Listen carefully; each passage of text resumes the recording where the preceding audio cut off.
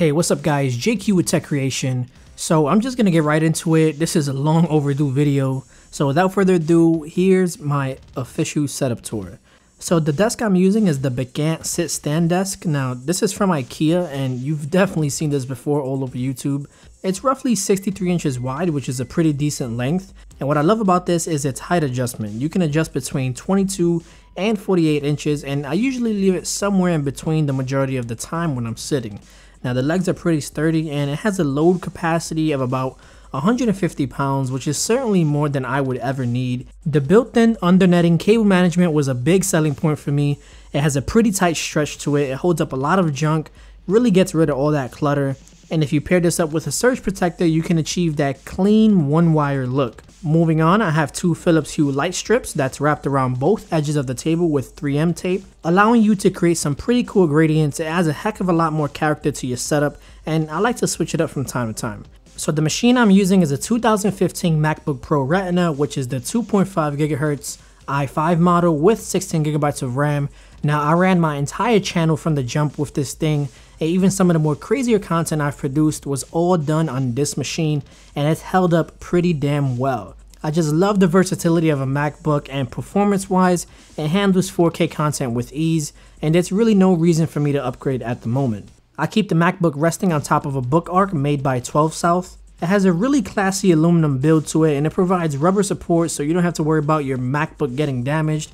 It doesn't slide or move around and it matches well with my other components.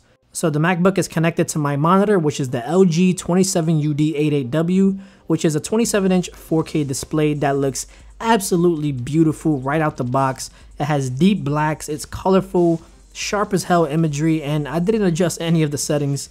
It has features like USB-C connectivity, the one wire for all solution, and it even acts as a USB hub. This was quietly released a few months ago and it's like the little brother to the popular LG 34-inch ultra-wide curved monitor, which I thought was a bit overkill. Besides, I like to enjoy my 4K content full screen without any black bars, and it's more than enough screen real estate that I need for editing and when I'm just doing my thing. Holding up the monitor is a generic third-party arm that I picked up off Amazon. It's made out of some heavy duty steel, it's crazy solid, and it kind of gives the display this floating effect, which I really adore. It's VESA compatible, so it works with most displays, and it has wire management clips along the handle for the ultimate cleanliness. Now, as you've already noticed, yes, those are Dragon Balls under my display. I received these for Christmas, and I have the other three put away somewhere. I grew up on DBZ, I'm a huge fan, and it really adds some pizzazz to my setup. Now above the desk, I have a few characters overlooking the setup. I have Super Saiyan 4 Gogeta, Lord Beerus, and Whis, and I think they look pretty badass right where they're at. Now the wheels I'm sitting on is the H12 ergonomic mesh chair from Best Office. It looks pretty stylish, it matches my setup nicely, and it provides extreme comfort at such a ridiculously affordable price. I only spent 50 bucks on this chair from Amazon, and it's a great affordable solution if you don't want to drop a few hundred bucks just for a chair. Now I understand the wave around mechanical keyboards at the moment, but I'll take no wires and a slim profile any day.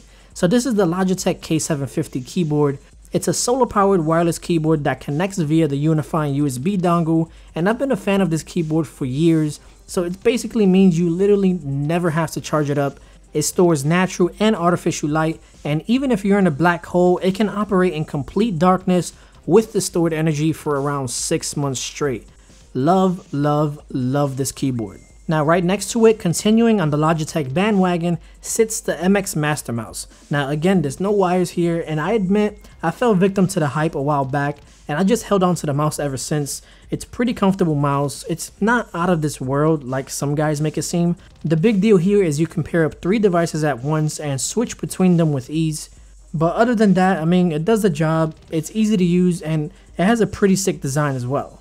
Now originally I was going to get a Behringer preamp, but after all the written reviews I ended up settling with the Focusrite Solo. So they're top players in the audio industry, and for a while I used my H5N, but I think it was time for a minor upgrade. I love its low profile, stylish, brushed aluminum look. The preamps are pretty damn solid, and combined with my Rode NTG3 shotgun mic, it produces some pretty good results. The audio you're hearing now is actually from that combo, completely unedited, so go ahead and let me know how you guys think this sounds.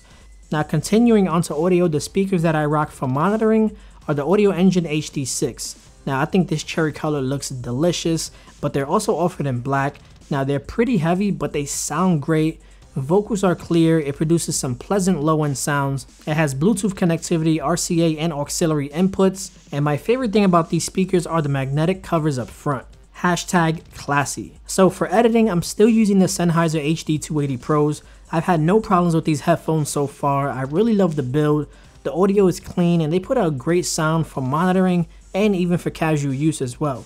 So I have these resting on top of an aluminum headphone stand made by Satechi. It adds so much style to such a simple idea and it even doubles as a USB 3.0 hub and an audio interface with an auxiliary output. Connected to that, I still use my LaCie D2 4TB hard drive to store all my videos. It has quick read and write speeds, it works great. I mean, it gets the job done, it's not much to say here. And right behind my table is a wall where I keep a bunch of accessories on the shelves sitting nicely. It really helps tremendously with the clutter buildup. I personally picked these up at Target, but you can literally find these types of shelves all over the web. So yeah, I mean, that's the setup. Everything in this video from head to toe will be linked down below in the description in case any of you guys happen to be interested, and even some of the stuff that I didn't mention. If you dig this setup, go ahead and show some love to that like button Drop a comment down below, show your friends, and be sure to subscribe for some awesome tech videos every week. Thanks for watching guys, and I'll see you in the next video. Later.